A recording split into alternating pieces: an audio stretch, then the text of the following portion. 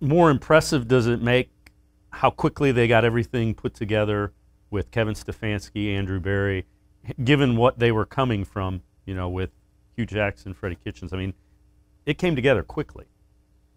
Well, first of all, there was a lot of talent on the football team.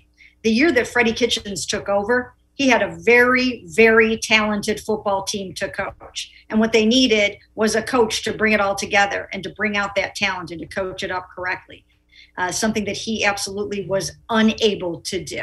So I think John Dorsey did a tremendous job of stocking this roster with a lot of talent. And a lot of those guys that he drafted or traded for or acquired in one way or another are still the key members of this football team.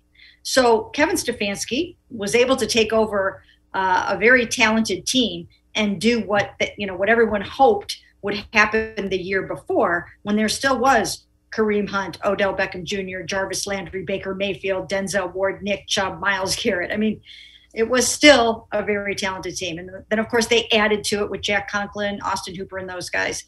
Uh, but it finally came together. And the key was the alignment. There has to be alignment. The Browns never have had it under the in the Haslam era, and that is from the chief strategy officer Paul DePodesta all the way down through the coaching staff, and then throughout the rest of the organization. Everybody is driving. Everybody's on the same bus this time, and they're all going in the same direction. As somebody who's around the team regularly, is is that something that you notice immediately? Is I mean is it a drastic, like, ah, this is how it's supposed to be kind of thing? Yes, every other year when they would try to put together the team, they would put together the front office and the coaching staff. I would always tell somebody in the organization, this is not going to work.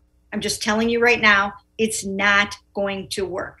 And this year, immediately, I knew it would work. I mean, there's just no way that you can't put Paul DePodesta, Andrew Berry, Kevin Stefanski together and have it not work. They all think the same way. Uh, they all are, again, pulling in the same direction. And now they have a talented football team to put out on the field and to get it coached up correctly. I think one of the best things about Kevin Stefanski was his ability to assemble a really good coaching staff. This is a good, good staff. These guys uh, are tremendous. And we haven't even seen what they're capable of yet because they didn't have an opportunity really to get together last year and you know and put it all together and figure out how they wanted to do things this year i think you will see more collaboration i think you will see more input from the assistants i think you will see more creativity and i think you will see uh, some new wrinkles just all across the board